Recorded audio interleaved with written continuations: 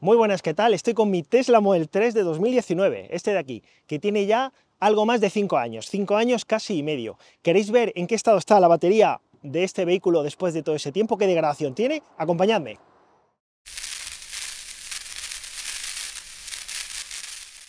Soy Manuel Martos y en este canal hablamos sobre movilidad eléctrica, sobre Tesla y sobre otros temas tecnológicos de actualidad.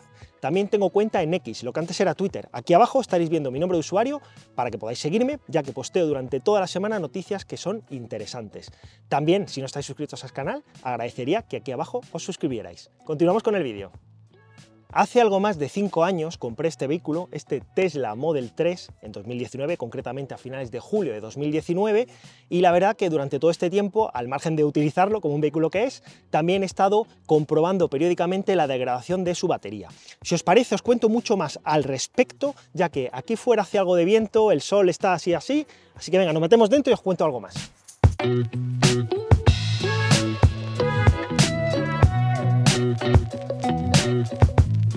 Bueno, la verdad que aquí ya me puedo quitar las gafas y vamos a hablar un poquito más de este vehículo. En concreto lo compré, como comentaba antes, en julio de 2019. Estamos ahora mismo finalizando octubre de 2024 y el coche tiene 5 años y 4 meses más o menos.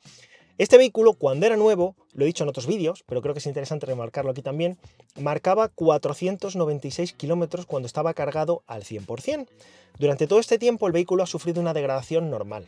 De hecho, tenéis eh, otros vídeos que os dejo pues, por aquí arriba, donde veis la degradación pues, cuando el coche tenía 4 años, cuando tenía 2 años, etc. Y podéis incluso llegar a compararlas si queréis. Entonces, este vehículo también, por dar el dato, está equipado con baterías NCA de Panasonic. Es un vehículo que está fabricado en Estados Unidos, hecho fue uno de los primeros Model 3 con hardware 3 en este caso que llegaron a Europa y por tanto está equipado con baterías NCA en lugar de las NMC que montan actualmente los vehículos que vienen fabricados en China y que son un gran autonomía como este, ojo. Eh, no lo he mencionado, pero si es un vehículo gran autonomía, no es un estándar y por tanto tiene eh, una química que da mucho más, eh, tiene un poquito más de densidad energética, entrega mucha más potencia de descarga, pero también sufre mayor degradación. Y por cierto, antes de continuar, el programa de referidos de Tesla ha vuelto. ¿Qué significa esto? Que si estás pensando en comprar un Tesla Model 3, Model Y, Model S o Model X y utilizas para ello un código de referidos como el que estaréis viendo aquí abajo, no tiene que ser este, puede ser cualquier otro, a ti como comprador te dan hasta 1000 euros de descuento en la compra de tu vehículo y a la persona de la que utilices su código le dan hasta 500 euros para que pueda canjear por diferentes artículos o servicios de Tesla dentro de la aplicación. Venga, continuamos con el vídeo. Pues eso, después de 5 años y casi 104.000 kilómetros, este vehículo pues, ha sufrido una degradación, lo que sería estimada para el tiempo que tiene, la química que tiene, hasta que Tesla lanzó una actualización en torno a mayo-junio de 2024 que hizo que el cálculo de la autonomía estimada de la batería, incluso del nominal full pack y kilovatios hora disponibles de la batería, bajase drásticamente. En mi caso fueron más de 3 kilovatios hora lo que perdí de un día para otro simplemente con una actualización. De hecho, hice un vídeo que os dejo por aquí arriba donde comento este problema, o al menos yo lo veo así como problema que sufrió mi propio vehículo. Y continuando, vamos a abrir la aplicación que yo utilizo para poder medir la degradación y poder ver las tripas del coche, que se llama Scan My Tesla, y que necesita un adaptador que se conecta al puerto OBD del vehículo y que mediante una aplicación del móvil podemos ver todos esos datos, todas las tripas de nuestro vehículo. Lo primero en lo que tenéis que fijaros es el valor del nominal full pack. De hecho, yo tengo el móvil por aquí delante y voy a estar mirando la pantalla para poder ir indicándoos las diferentes magnitudes que iremos viendo.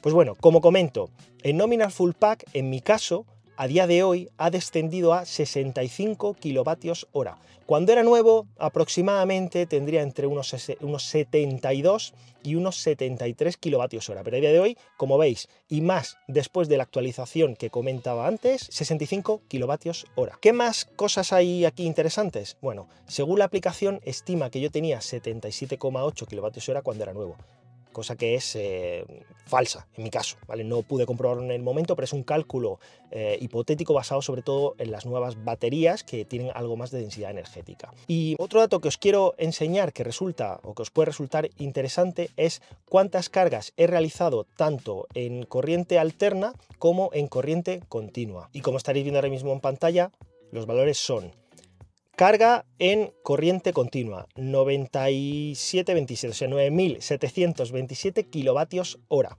que he cargado en puntos de carga en continua. Y carga en alterna 9712, o sea, 9712 kilovatios hora que he cargado en corriente alterna. Como veis, he cargado prácticamente igual 50 y 50% en corriente alterna y en corriente continua. Recordad, si tu vehículo lo sueles cargar, sobre todo en este tipo de baterías, en este tipo de químicas de baterías, sueles cargarlo habitualmente en corriente continua, te expones a que durante el transcurso de la vida del vehículo tenga una degradación mayor, o sea, la batería se degrade algo más. En mi caso, como veis, 65 kilovatios hora, un 50% de las cargas en corriente continua, probablemente sí que tenga que ver el hecho de haber realizado tal número de cargas en corriente continua el que el nominal full pack de mi batería esté más bajo de lo que yo estimo que debería estar. Ojo, comparado con otros vehículos, con otros conocidos que tienen el mismo vehículo que yo, hablamos de un vehículo de 2019 americano con batería NCA, que un gran autonomía con tracción integral, su nominal full pack está ligeramente por encima del mío. Suele estar a lo mejor 66, 66 y pico, 67, pero curiosamente son propietarios que han cargado bastante menos que yo en corriente continua. Es decir, su mix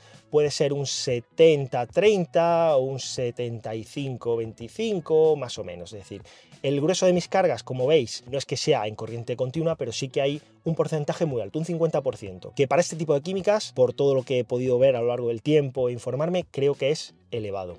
Y tampoco hay mucho más que contaros acerca de lo que es la degradación en sí de mi batería. Como habéis visto, 65 kWh, que corresponderán a aproximadamente a un 15% de degradación del pack completo de baterías, lo que sería degradación bruta, ojo, no neta, y que es lo esperable después, sobre todo, de la actualización que nos metieron este año y que al menos en mi caso ha tenido bastante impacto. No obstante, para hacer el seguimiento de la degradación no suelo utilizar esta aplicación de manera habitual. La utilizo cuatro o cinco veces al año, espaciada en los meses, para hacer o llevar un control de cuántos kilovatios hora tengo de batería. Hablamos siempre de, degradación bruta en este caso, ¿eh? un 15% bruta. Pero para el día a día lo que utilizo es una aplicación que se llama TeslaFi, que os dejo por aquí el enlace por si queréis ver cómo es la aplicación. Hice un vídeo hace tiempo. Y bueno, esta aplicación lo que hace es va traqueando o va midiendo cada vez que realizas una carga, cuál es la estimación en kilómetros que tiene tu vehículo al porcentaje o al 100% de carga del vehículo. ¿no? Aunque cargues a un 80, él estima, dice, pues bueno, al 100 tendré tanto y va logando toda esa información para luego poder componer una gráfica de degradación o una gráfica incluso que tiene su tendencia. Este tipo de aplicaciones, ya no solo TeslaFi, sino cualquier otra, Stats, Tesla y tal, se basan en poder tomar datos desde el momento en que la empiezas a utilizar. Es decir, no son capaces de obtener información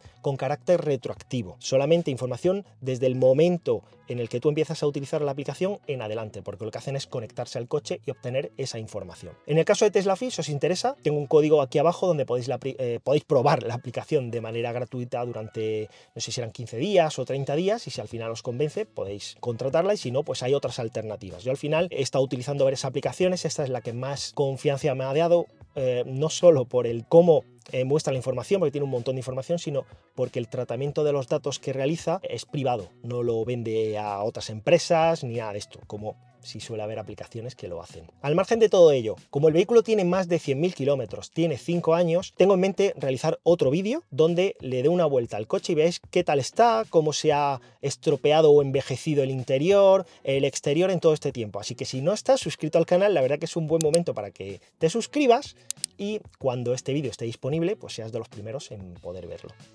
Y no mucho más. Si te ha gustado el vídeo, la verdad que agradecería un like si no estáis suscritos al canal, como siempre digo, podéis aquí abajo suscribiros y nos vemos en próximos vídeos.